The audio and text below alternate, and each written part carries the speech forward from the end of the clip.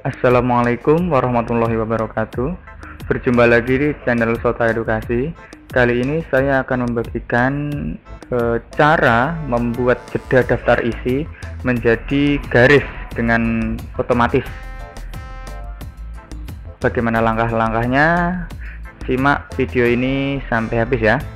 E, Kita akan mulai dari file yang akan kita rubah dulu.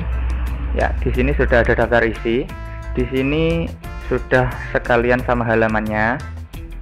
Nah dan tugas kita di sini adalah mengubah jeda ini nanti menjadi garis. Jadi kita ubah jedanya sampai ke pinggir sini nanti semuanya. Nah tapi jedanya itu bukan berupa titik ataupun tidak ada tapi jedanya itu berupa garis bawah.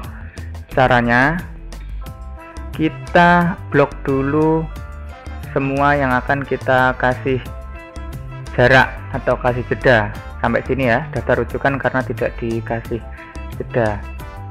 Nah, kemudian kita klik home. Nah, kita pilih paragraf. Nah, kemudian kita pilih menu tab sini. Tab. Kalau sudah tab maka kita setting ini tab stop position. Nah ini akan berhenti di senti keberapa? Di sini loh maksudnya atas ini kan ada ada ukurannya berapa senti di senti berapa? Nah coba aja kita di 15 ya. Atau di 15 lah. Kita coba 15 nah kemudian arahnya ke kiri nanti.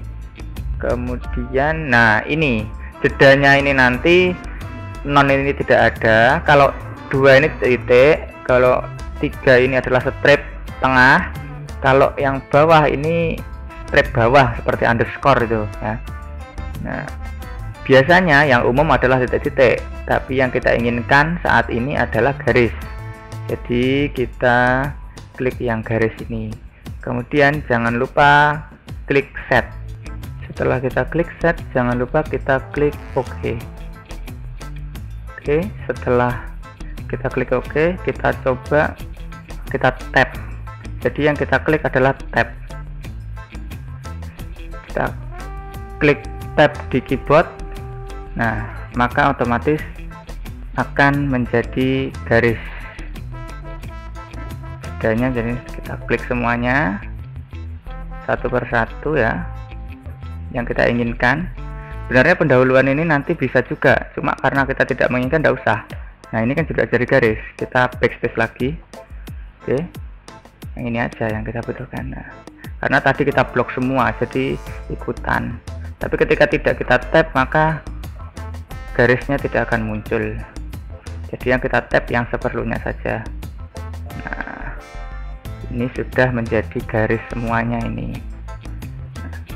Ini sebenarnya tidak cuma garis. Nanti bisa non bisa titik-titik dan lain sebagainya atau bisa garis tengah juga. Nah yang kita inginkan adalah garis seperti ini. Oke itu saja mungkin yang dapat saya bagikan. Semoga cara ini bisa bermanfaat bagi kita semua. Terima kasih telah menonton. Wassalamualaikum warahmatullahi wabarakatuh